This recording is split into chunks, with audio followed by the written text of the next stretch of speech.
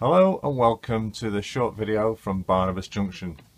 In this video I'm just working on some scenic work and I thought I'd just do this video to show you uh, what I'm using and what it looks like as it develops. Um, first of all I'll show you a small area that I've already done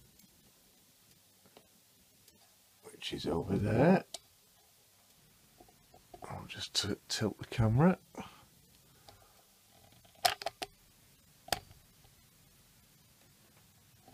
There we go. I have acquired some um, acrylic paint to use as a test to see how it comes out and I am actually extremely pleased with it. The paint itself is graduate acrylic from Hobbycraft I can't remember the price exactly because I bought this actually quite some time ago. Um, quite some time indeed. I say about nearly eight months ago, and I've completely forgotten how much it was. I think it was about one pound fifty as a guess, but until I go and buy some more, um, I won't be able to remember. Um, Tetra d'Ombre Brûlée, and for us English, that's burnt umber. Number two two five of the Daler-Rowney range at Hobbycraft.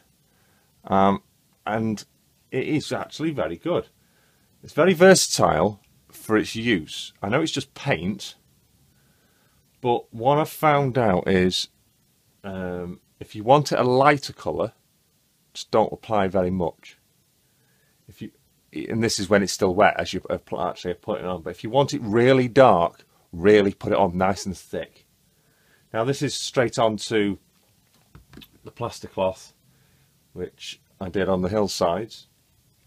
Um, it's not penetrated perfectly.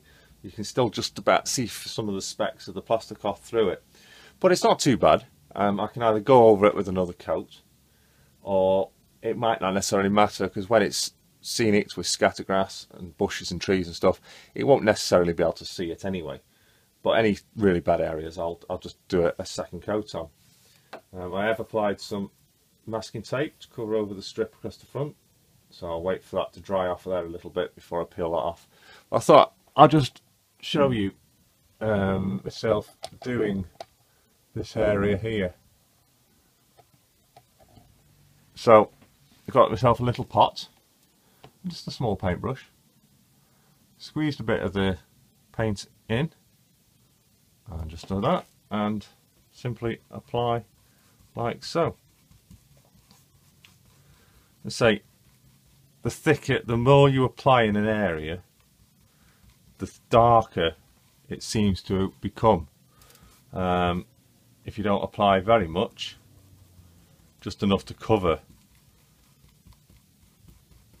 the plaster cloth over, it seems to dry quite a bit lighter. Um, but yeah, that's it. So what I'll do now is I'll get this section all here finished off and then I'll give you a, a full overview of the finished product. See you in a moment. And if by magic, there we go. That's now all done with first coat. I'll take you down now for a closer look. Have just before I do, um, I've used about half that tube. It's, uh, it's 120 mil. I've used about half the tube to do all of that and that and there as it started I've just been like using what was left on the paint just to start over there um, quite a good effect if actually if you were doing a snowy scene that would be um, does actually look quite good but it's not staying like that. But anyway, um, I do have um, another colour to try as the back area there um, is going to be a rock face. So I do have um, a grey. It says natural grey. It's number 084. Gris Natural. So I'll be trying that Um, I'll let you know how I get on that. That I'm going to use from the back. But I think I might put another layer of plaster clothing on there first. So it's quite thin. This here had three layers. I think these did. I did three layers on that. That's had three layers. But this back panel here, as I wasn't sure whether it was fully done yet, that's only had one layer. So I might apply some more first. Now another thing is, um, when doing this, might have been a good idea to do the painting before I did the ballasting. Not 100% sure, it looks okay, but I have got some of it on the, the ballast, which in, it might be alright, might disappear. Um, you might be able to just see where plaster cloth is not quite got in, some white dots there, but I think the overall effect is quite good. Um, not sure if you can see the different tones right there. Different tones of the paint. Some of it's a bit lighter. See it's still wet here. And in certain areas it's darker which is more noticeable here there you go you can see the differences light and dark there. So it's uh, you can definitely see there you can see the light and the dark. So that's quite good. So um, there you go that's this for this video. It's the first bit of painting. So it's graduate acrylic paints uh, burnt umber from Hobbycraft.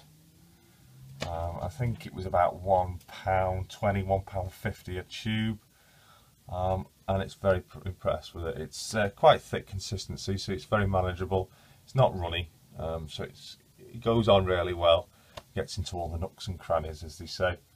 But there you go, painting the hillside. Look out in future updates for how further that develops. But please remember to like, share and subscribe. And remember to click the old bell next to the subscribe button to be informed and notified immediately upon new updates from Barnabas Junction. So from me till next time, ta Bye.